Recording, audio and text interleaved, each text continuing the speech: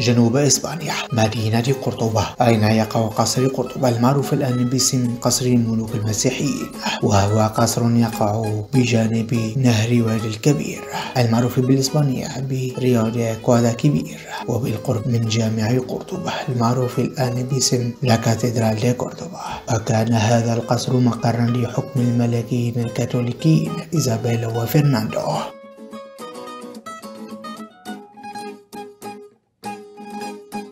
قديما. كان القصر حصنا للقوط الغربيين وبعد الفتح الإسلامي للأندلس. عاد المسلمون بناءه وبعد سقوط الدولة الأموية في المشرق لتحتل محلها الدولة العباسية. فر عبد الرحمن الداخل أحد أفراد البيت الأموي إلى الأندلس. وأسس الدولة الأموية في الأندلس وعاصمتها قرطبة. واتخذ هو وحلفائه القصر مقرا له. أصبحت قرطبة حينئذ مركزا ثقافيا وسياسيا هاما. وتوسع القصر ليشمل أجنحة كبيرة ذات ممر وحدائق. كما ضم مكتبة عظيمة في الغرب واستخدمت الطواحين المائية لرفع الماء من نهر الوادي الكبير وري الحدائق الشاسعة. وفي سنة 1236 ميلادية خسر المسلمون قرطبة أثناء حروب المسلمين والمسيحيين في الأندلس. وفي عام 1328 ميلادية بدأ ألفونسو الحادي عشر ملك قشتالة. بناء الجزء الموجود على هيئته الحالية على جزء من الحصن القديم. اقتطعت أجزاء من القصر الذي خلفه المسلم ومنحت للأساقفة والنبلاء.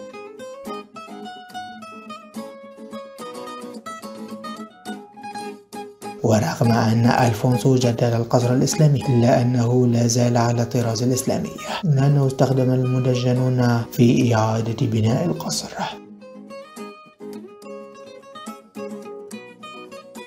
تحصن أورين الرابع ملك قشتالة. في القصر أن التمرد الذي قام به أخيه غير الشقيق ألفونسو على حكمه مما استدعاه أن يقوي دفاعات القصر لتتحمل قوة البارود. كما أنشأ البرج الرئيسي للقصر المعروف ببرج محاكم التفتيش استخدم حلفاء إيزابيلا وزوجها فرناندو القصر كإحدى المقرات الأولى لمحاكم التفتيش الإسبانية وكمركز لحملاتهم على بني النصر حكام مملكة غرناطة. آخر ممالك المسلمين في شبه الجزيرة الإيبيرية استخدم القصر كمقر محاكم التفتيش منذ عام 1482 ميلادي. وحولوا معظمه إلى غرف للاستجواب والتعظيم لثلاث قرون.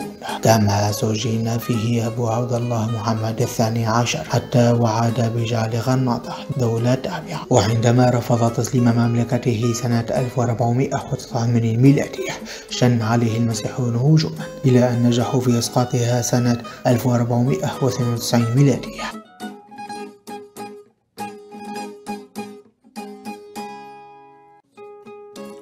وفي نفس العام قابل الملكان الكاثوليكيان كريستوفر كولومبوس في القصر لتجهيز رحلته إلى الأمريكيتين.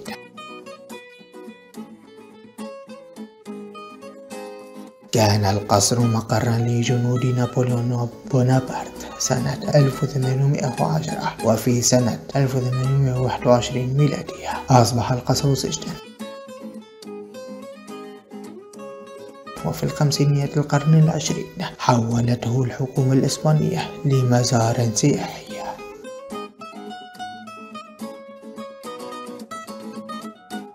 يتوسط القصر باحات الموريسكيين وبه برج الأسود وبرج الاستقبال الذي يتميز بعمارته القوطية. كما يحتوي على مجموعة فسيفساء والتوابيت الحجرية الرومانية في برج المحاكم التفتيش.